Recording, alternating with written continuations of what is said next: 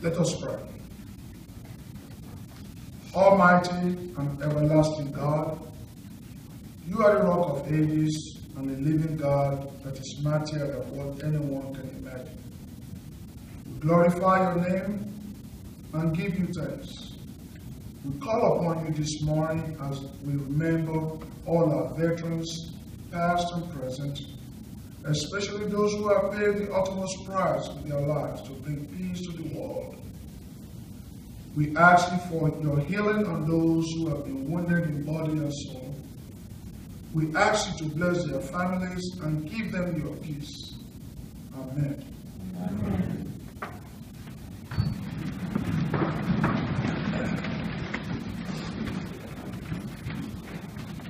Good morning. Good morning.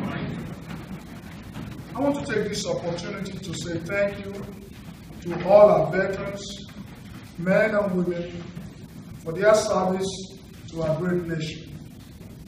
I also want to say thank you to their families for their unseen, for their unseen sacrifices they have made. So this is Veterans Day, and our church is named after a soldier who became a saint because of his actions and deeds towards others. On this day, we reflect and remember our young men and women who have fought in several wars in order to bring peace to the whole world. Many of these young men and women lost their lives because of their courageous actions to bring peace to the whole world that we live in and the freedom that people, everybody is enjoying today. The numbers of the wounded veterans are 10 times more than those who lost their lives. The families of the injured veterans have witnessed their loved ones suffering, and the thought of that sometimes make them feel uncomfortable and helpless. I encourage all of us to remember our veterans in our daily prayers and especially for their families because the pains of our veterans are real. They are the only ones dealing with the effect and aftershock of war. Again, I come with my question. Are we doing enough as a nation to protect our veterans. Are we doing enough to make sure that our veterans are taken care of when they return home? We are remembering today because of the sacrifices and commitment made by these young men and women for our great nation. November 11 is also St. Martin's Day. St. Martin's makes sacrifice and commitment for the betterment of others. St. Martin's lived in the first 18th century and was born in what today's present day Hungary. He served as a soldier in the Roman army and had a conversion experience at the age of 18, which led him to become a monk and eventually Bishop of Tours in what is today France. We all probably have heard about St. Martin's story. He was at the gate of the city of Amiens with his soldiers when he met a scantily dressed beggar. St. Martin cut his own military clothes in half and shared with the beggar. What a commitment. What a sacrifice to make. Our gospel for today is often called the widow's mite. And it's a story again of sacrifice.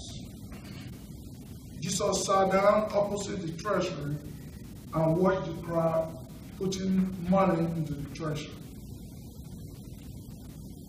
Many rich people putting livestock but the poor widow came and put in two small coins, which is what they paid. Jesus called his disciples and said to them, Truly I tell you, this poor widow has put in more than all those who are contributing to the treasury. It let them know that the rich folks have contributed out of their abundance. But the widow has put in everything she had and all she has to live on. Brothers and sisters, what do Veterans Day, St. Martin's Day, and the story of the widow's mite have in common? Sacrifice and commitment to do the right thing. I'm encouraging all of us today to participate in a church stewardship campaign.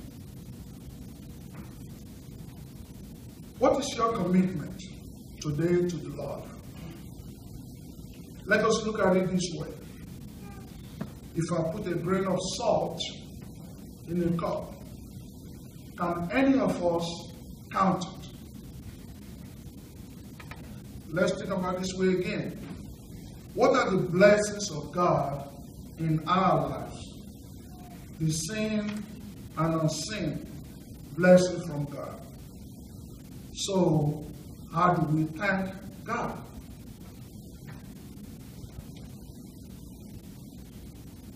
I don't like talking about money. Very difficult for me to make me feel uncomfortable. But I found myself, I gotta talk about it today. to run a church, we need your financial support. However, God needs your heart. And we need your talent for you to utilize it in our church. Yesterday, uh, during the convention we have in Cape, other churches in the area we are talking about was the ministry that we're doing in our churches. It's amazing when our church, in our group, what we're talking about, what's going on, and what, and we have to report back uh, when we when the uh, convention resumed about what we've discussed about. Our church members were able to tell the whole congregation what we were doing in our church. And when I listen to what we're doing, we have a lot of ministry here, better than other churches. Uh, I'm this one I'm about to say, I didn't tell my wife, but I'm going to say it so I get in trouble at home.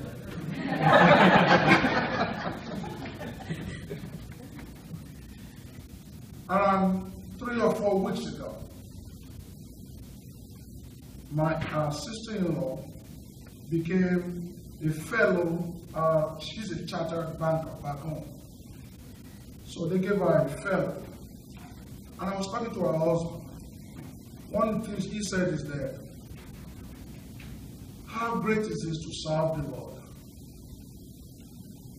That kind of God. How great is it to serve the Lord? And looking back about how we serve the Lord, I remember uh, growing up back home in Nigeria. My mom used to wake us up around 5.30 every Saturday. We go and clean the church. As a young boy, I hate it. I don't like it. But looking back, that's how it gives back. Uh, this is a lady that didn't get pregnant 30 years after her marriage.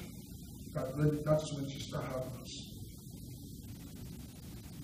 I found myself doing the same thing after I finished my college in Oklahoma.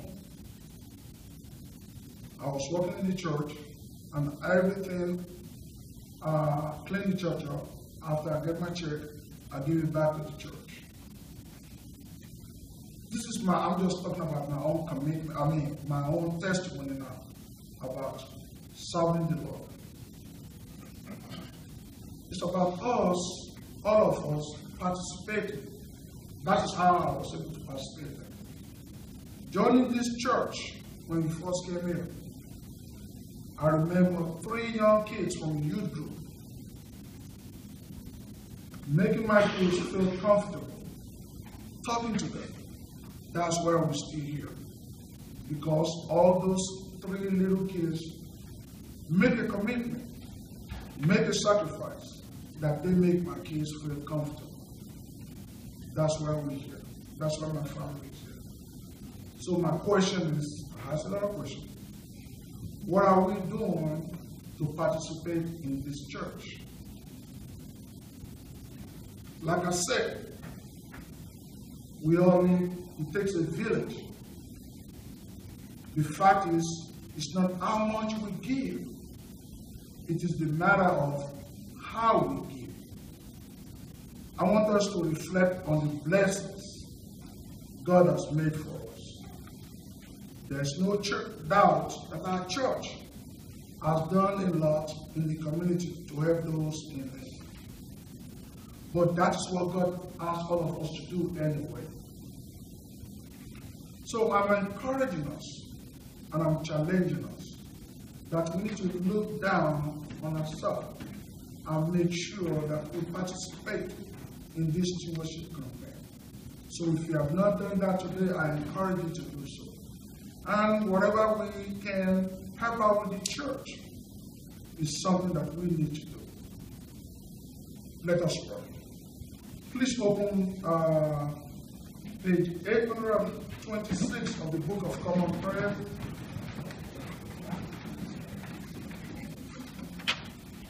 Number 35.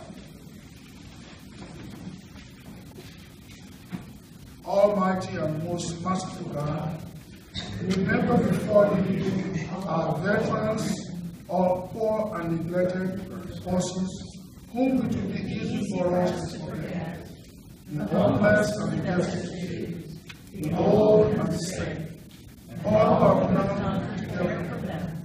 Help us to heal those who are in and to turn their sorrow. Grant this Father the love of your Son, who for our sake became poor, Jesus Christ our Lord.